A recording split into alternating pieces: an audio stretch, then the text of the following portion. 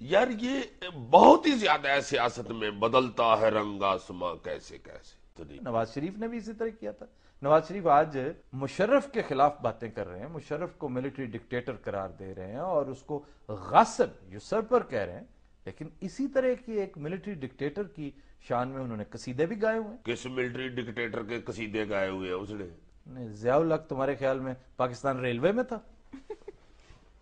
उसके क्या कसीदे गा लिए कोई एक अच्छी बात ओ वो तो सुबह शाम उनकी नगमा सराई किया करते थे। वक्त वो भुट्टो के बारे में पीपल्स पार्टी के बारे में बीबी की हुकूमत के बारे में ऐसी ऐसी उन्होंने बातें की की। इल्ज़ाम तराशियाँ की ऐसा ऐसा कुछ किया। आज वही नवाज़ लीग जो है वो पीपल्स पार्टी के साथ शाना बशाना चल रही है। पंजाब में उनकी कोलिशन है।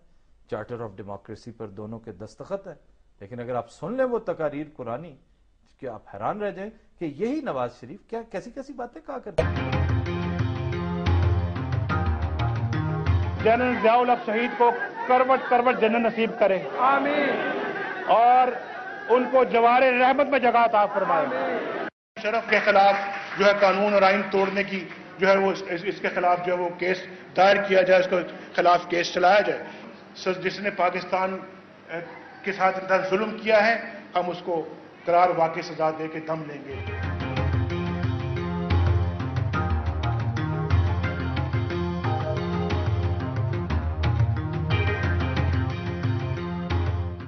जनरल जियाउल हक शहीद को खराज अकीदत पेश करने के लिए जिसका मजार वो सामने और इस मजार पे कोई सरकारी फंड इस्तेमाल नहीं हुआ।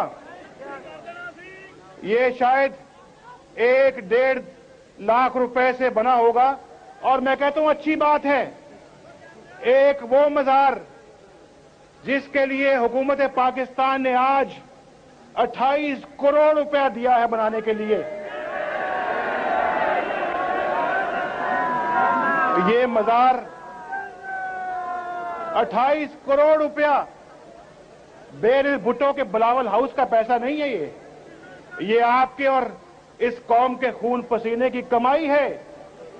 ये उस मुजाहिद का मजार है जो कहता था, मैं पाकिस्तान को इस्लाम का किला बनाऊँगा। और 28 करोड़ उस शख्स के मजार के लिए हुकूमत ने फ्राहम किया है, जो कहता है, मैं रात को थोड़ी सी पी लेता हूँ। बता रहा हूँ तगयरात है जमाने के ये सियासत के वो पलटे हैं जो सियासतदान खाते हैं। घड़ी में तोला होते हैं घड़ी में माशा होते हैं। कल को ये थे आज ये हैं और आने वाले कल में कुछ, कुछ और, और। होंगे। गड़े मुर्दे उठा के ले आए हो ये कुछ दिखाने वाली चीज़ है जो दिखा रहे हो? दिखाने वाली। और ये गड़े मुर्दे हमें गाहे गाहे उखाड़ते रहना चाहिए ताकि दोस्तों को पता चले कि कल क्या हमारी कौम का तो एक बहुत बड़ा अलमिया ये कि माजी की तरफ़ देखती नहीं उसको पता ही नहीं कि कल क्या हुआ था। तो